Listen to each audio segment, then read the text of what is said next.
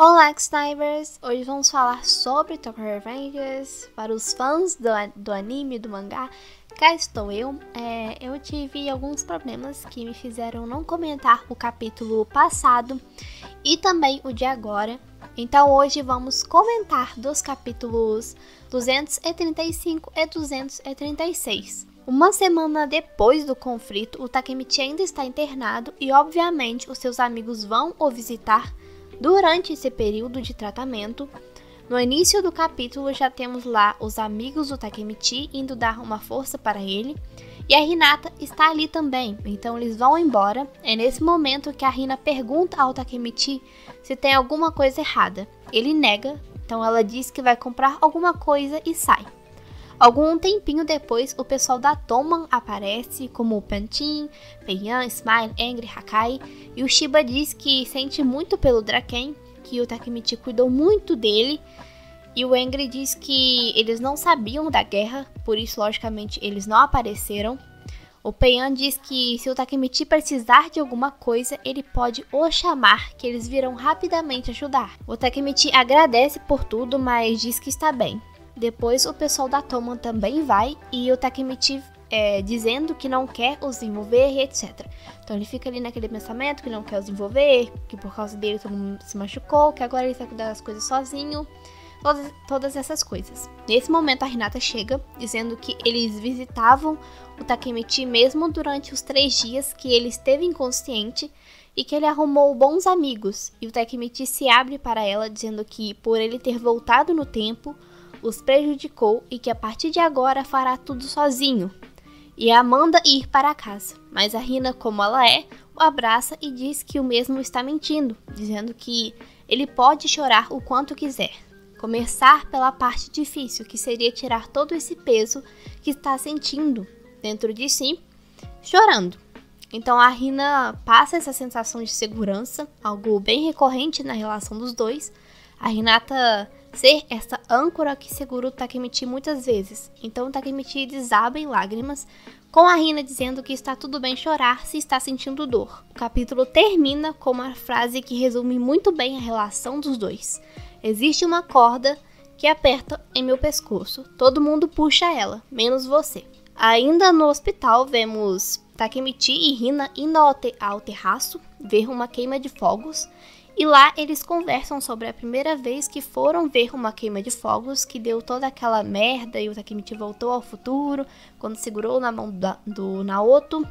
E em seguida, o Takemichi se abre um pouco mais, dizendo que ele tinha que proteger todos, mas vendo que ele era incapaz disso sozinho, ele acabou conhecendo pessoas que o apoiaram e até viraram seus amigos, e que isso fez que ele quisesse proteger todos eles. E isso acabou o dando muita responsabilidade, mas que apesar disso, mesmo que ele não conseguisse suportar tudo, não conseguisse proteger todo mundo, o Mike sempre salvava a todos, e que é por isso que ele não pode aceitar deixar o Mike para trás.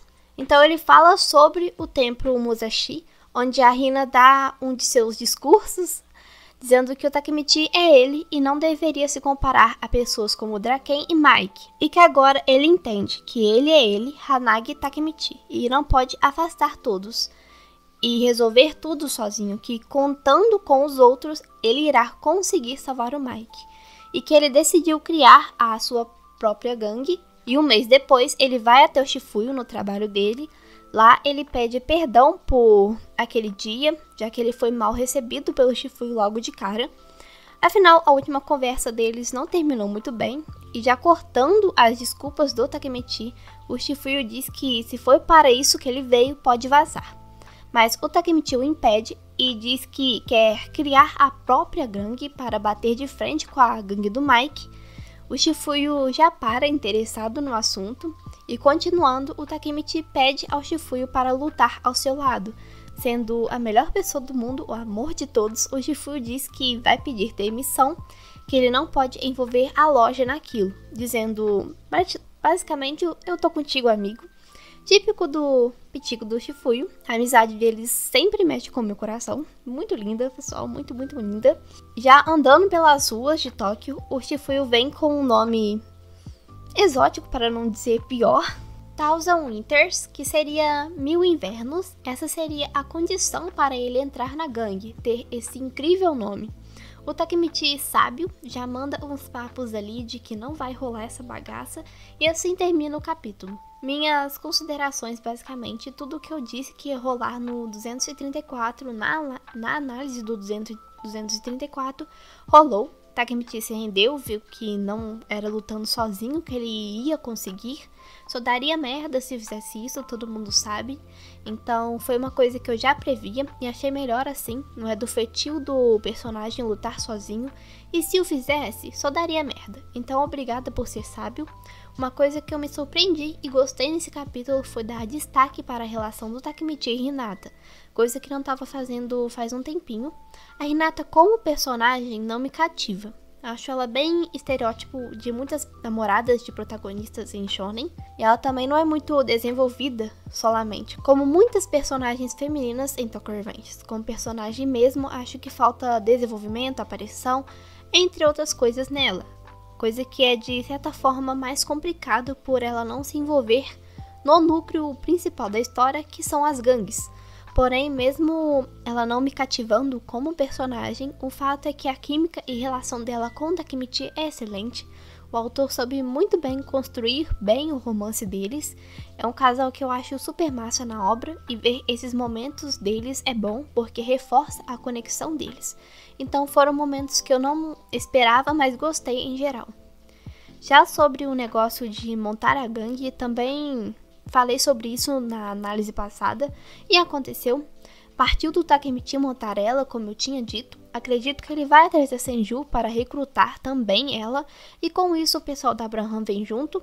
Inclusive, senti falta dela nesse capítulo. Ela não foi visitar o Takemichi, o que é estranho, já que ela se apegou muito a ele.